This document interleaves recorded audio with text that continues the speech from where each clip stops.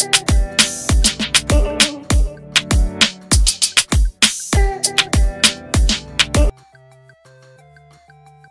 ดีตกกตเตือนธีรพันธ์ไม่ขายก๊อกเลขานายกรัฐมนตรีแต่รับเงินเดือนสองทางมีปัญหาแน่อดีตกกตเตือนธีรพันธ์รายงานตัวสอสอ โดยไม่ลาออกจากเลขาธิการนายกรัฐมนตรีทำได้แต่รับเงินเดือนสองทางมีปัญหาแน่แนะคืนเงินเดือนที่รับมาตั้งแต่วันที่ 14 พฤษภาคมด้วยวันที่ 22 มิถุนายน 2566 นายสมชัยศรีสุทธิยากร อดีตกรรมการการเลือกตั้ง กกต โพสต์เฟซบุ๊กระบุว่ากรณีนายพีรพันธ์สาลีรัฐวิภาคไปรายงานตัวส สมควรลาออกจากเลขาธิการนายกรัฐมนตรีหรือไม่ นายวิษณุเครืองาม รองนายกรัฐมนตรีบอกไม่ต้องลาออกจนกว่าจะปฏิญาณตนสอสอคำตอบของผมที่อาจจะต้องคิดคือเงินสอสอ เริ่มจ่ายย้อนหลังตั้งแต่วันเลือกตั้งวันที่ 14 พฤษภาคม 2566 ส่วนการเริ่มปฏิบัติหน้าที่สสเริ่มได้นับแต่วันปฏิญาณตน หากยังอยากขยันทำหน้าที่ในช่วงนี้ ต้องไม่รับเงินเดือน เลขาธิการนายกรัฐมนตรี โดยรับเงินสส แทนแต่เพียงตำแหน่งเดียวแล้วแต่ท่านครับ แต่หากรับสองทางน่าจะมีปัญหานะ อย่าลืมคืนเงินเดือน เลขาธิการนายกรัฐมนตรีที่รับมาตั้งแต่วันที่ 14 พฤษภาคม 2566 ด้วย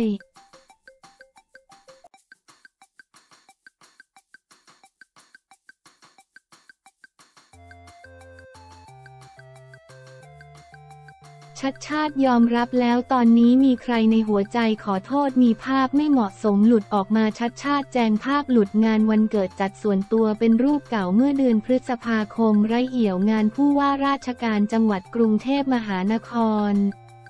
ขอโทษมีภาพไม่เหมาะสมออกมาย้ำในหัวใจมี แสนดี คนเดียวจากกรณีโลกออนไลน์เผยแพร่ และแห่แชร์ภาพนายชัดชาติ สิทธิพันธ์ผู้ว่าราชการจังหวัดกรุงเทพมหานคร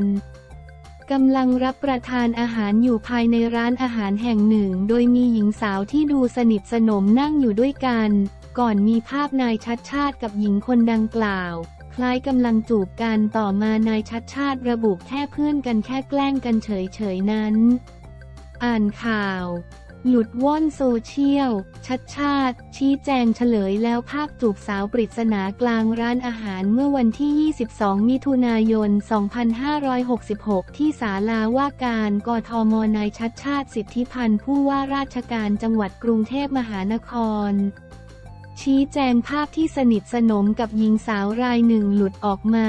ซึ่งภาพที่ดูเหมือนจะเป็นที่ฮือฮามากที่สุด คือภาพจูบปากกันลงโซเชียลว่า เรื่องรูปหลุดต้องชี้แจงเพราะพี่ชายอาจจะเดือดร้อนจริง ๆ แล้วไม่มีอะไร เป็นรูปเก่าเมื่อเดือนพฤษภาคมที่ผ่านมา เป็นงานวันเกิดมีการกินเลี้ยงวันเกิดกันของคนกลุ่มหนึ่งในพื้นที่ส่วนตัว จะระมัดระวังตัวให้มากขึ้น ไม่คิดว่าจะมีการนำไปเผยแพร่ อย่างไรก็ตาม เรื่องนี้ไม่เกี่ยวกับงานผู้ว่าราชการจังหวัดกรุงเทพมหานคร ตนขอชี้แจงแบบนี้จากการเผยแพร่ภาพดังกล่าวมีผู้อื่นเกี่ยวข้องด้วย อาจไม่ส่งผลดีส่วนตัวไม่มีปัญหา เพราะเป็นบุคคลสาธารณะ ขอยอมรับและขอโทษที่ทำให้บางคนคิดว่าไม่เหมาะสม เป็นบทเรียน ส่วนคำถามที่ว่า เป็นเพื่อนหรือเป็นแฟนผมขอไม่พูด เพราะไม่เกี่ยวกับงานผู้ว่าราชการจังหวัดกรุงเทพมหานคร ขออย่าพูดถึงผู้อื่นที่ไม่เกี่ยวข้องกับงาน ส่วนในหัวใจตอนนี้ของผมนั้นมีแสนดีเพียงคนเดียวเท่านั้น นายชัดชาติกล่าว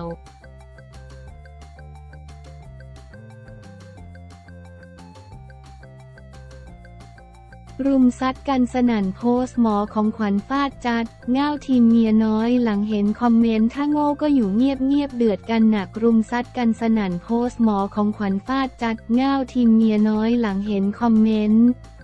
เรียกว่าสะเทือนไปทุกวงการมากๆ กับประเด็นเรื่องเมียน้อยเมียหลวงที่ใครๆก็ที่จะพูดถึงไม่ได้ โดยเฉพาะในโลกโซเชียลที่มีการแชร์ปมดราม่าสนั่นวงการบันเทิงของหนุ่มกะลา โดยโลกโซเชียลมีการแชร์คอมเมนต์หนึ่งที่เข้ามาแซะ จูนภรรยาหนุ่มกะลาขณะไปออกรายการโหนกระแสว่า อะไรคะจูนตัวเองบอกกับหนุ่มกรรชัยว่ารู้ว่าผัวคบกับเมียน้อยมาตั้งแต่ปลายปี 63 อันนี้คือพูดจากปากตัวเองเลย แล้วจะมาฟ้องอะไรสิบล้านตามกฎหมายเขาให้ฟ้องภายในหนึ่งปีตั้งแต่รู้ จูนตื่นค่ะ พร้อมทั้งบอกว่าสงสัยคนโพสต์ทีมเมียน้อยแน่เลย ด้านหมอของขวัญ ถึงกับเข้ามาคอมเมนต์ฟาดคอมเมนต์ดังกล่าวเดือดเลยว่า ตื่นค่ะหญิงหนึ่งปีตั้งแต่รู้การกระทำครั้งสุดท้ายค่ะ จัดง่าว โดยชาวเน็ตเข้ามากดไลค์รัวๆคอมเมนต์หมอของขวัญทั้งยังแห่คอมเมนต์สนั่นเดือดวิพากษ์วิจารณ์คอมเมนต์ดังกล่าวอาทิเขาเก็บหลักฐานจ้ะถ้าโง่ก็อยู่เงียบๆรู้ว่าผัวมีเมียน้อย แต่ไม่มีหลักฐานจะไปฟ้องอีเมียน้อยยังไงก่อน แต่ที่แน่ๆตอนนี้หลักฐานแน่มาก ทั้งรูปทั้งวิดีโอทั้งการโพสต์อยากมีตัวตนอยากเป็นนับเบอร์วันสิบล้านจุกๆกันไปเลยจ้ามึงอะตื่นก่อน เขาถือทะเบียนสมรสค่ะ จะฟ้องปีไหนกี่ปีกี่เดือน มันก็สิทธิ์ของภรรยาที่ถูกต้องตามกฎหมาย แต่ที่เขาไม่ทำเพราะผอชอมันพูดว่ามันจะเลิกยุ่งในแต่มันก็ยังไป กันอยู่เขาเขาก็เลยต้องฟ้องอีผีมันฟ้องได้ค่ะ ไม่เกี่ยวกี่ปี ถ้าความผิดยังต่อเนื่องแล้วอีกอย่างนะ ถ้าครั้งนี้ฟ้องแล้วชนะจบได้เงินมาแล้ว แต่ไม่เลิกสามารถฟ้องได้อีกค่ะแหมดูไม่ออกเลยเนาะว่าแกก็เมียน้อยอาสาว เป็นต้น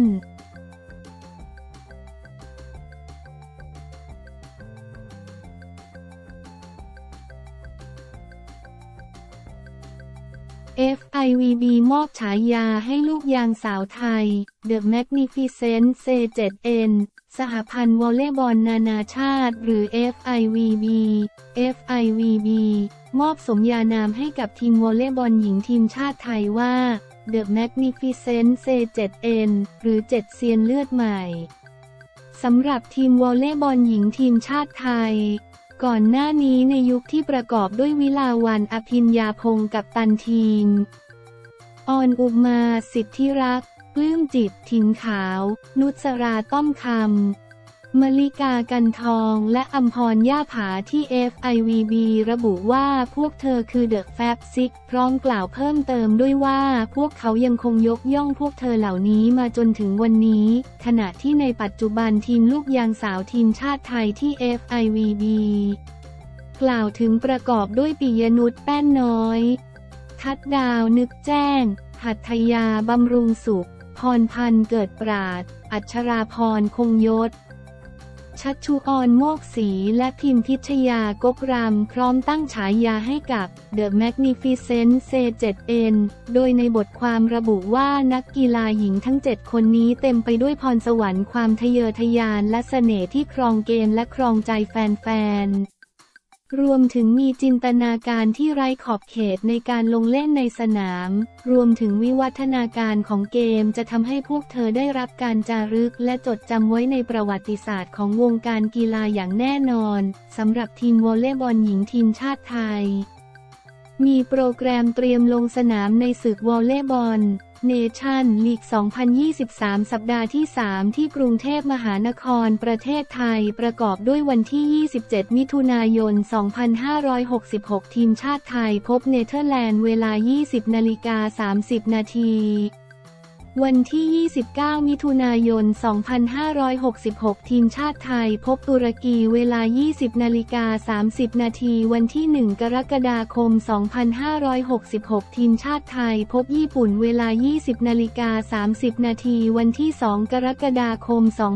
2566 ทีมชาติไทยพบบราซิล เวลา 20 นาฬิกา 30 นาที